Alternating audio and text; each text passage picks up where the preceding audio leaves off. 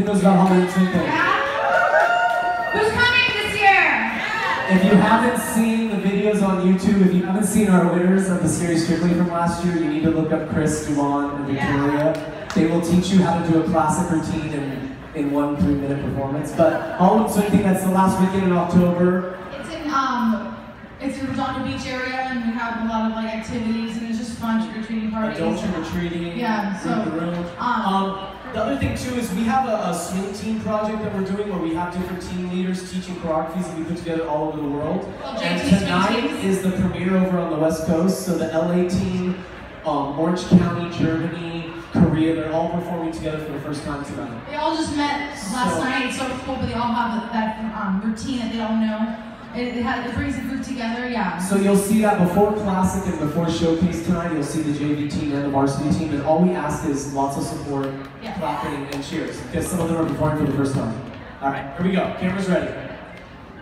Three, two, one, and action. All right, Jordan Tatiana at Swing Diego 2017, um, and our focus was on hitches at the beginning of the class. So we did a lot of drills of hitching away. For some of you that have never done that before, starting with a kickball change. Kickball change. That's where this comes from.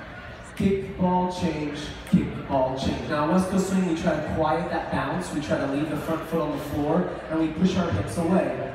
I'm focusing settling in my right hip. Tatiana's focused more on her left hip.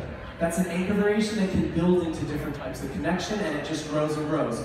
Followers on the tuck when you have this over rotation, it's a great way to absorb that energy, absorb that momentum of turning. twist. All right, so with a single turn, it looks like this. And four, five, and six. And leaders we caught on as well. A double turn, one, two, three, four, five, and six. What's nice about this is that Tatiana doesn't feel the need to fall back into third. It's not that. So it has a very soft finish.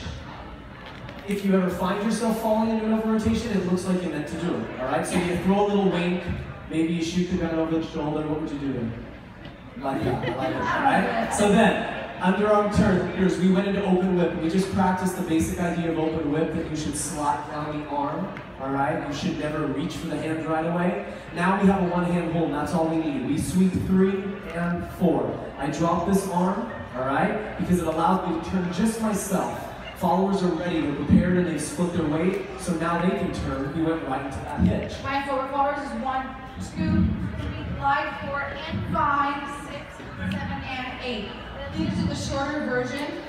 Dun, dun, hop, and I really want to make sure you went and five. If Jordan made it longer, you follow that. Three, four, and five. Boom. I'm waiting for this lead. Yeah? Thank you guys, good job everybody. Awesome, guys.